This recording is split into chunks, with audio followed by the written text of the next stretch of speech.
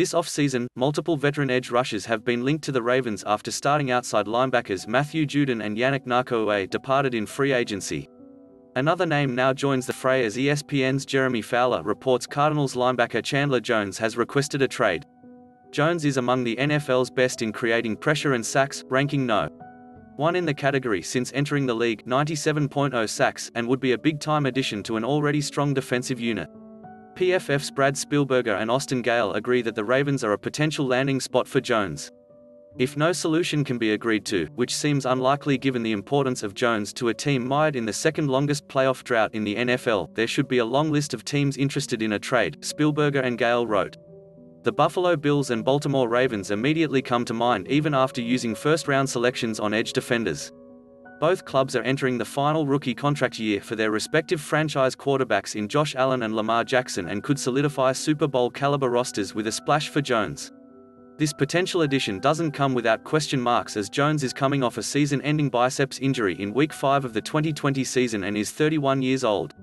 Jones is also due $15.5 million in base salary and in the final year of his contract with the Cardinals.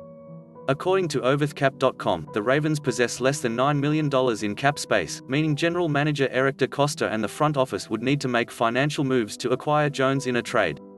As for what the Cardinals may want in return, Spielberger and Gayle don't see it as being unreasonable, citing the Ravens trade for Ngakoue last year as a reference point. A second round pick would most likely be the top draft pick Arizona could recoup in a Jones trade because of his age and the fact he'd be looking for a new contract wherever he ends up, Spielberger and Gayle wrote. If Jones shows a willingness to play elsewhere without a new deal, an acquiring team may take the gamble of bringing him aboard for just one year with the hopes of earning a third-round compensatory draft pick following the 2021 season. The Ravens adopted this approach in 2020 with their mid-season acquisition of edge defender Yannick Ngakoue, sending a 2021 third-round and 2022 fifth-round pick to the Vikings. Ngakoue's free agent contract with the Raiders subsequently awarded the Ravens a fourth-round compensatory pick in 2022. Marlon Humphrey and Lamar Jackson seem to be fans of the idea. While PFF expects the Ravens to call if Jones becomes available, Russell Street reports Tony Lombardi believes there's no need to be concerned regarding the Ravens' pass rush, or add a designated sack artist.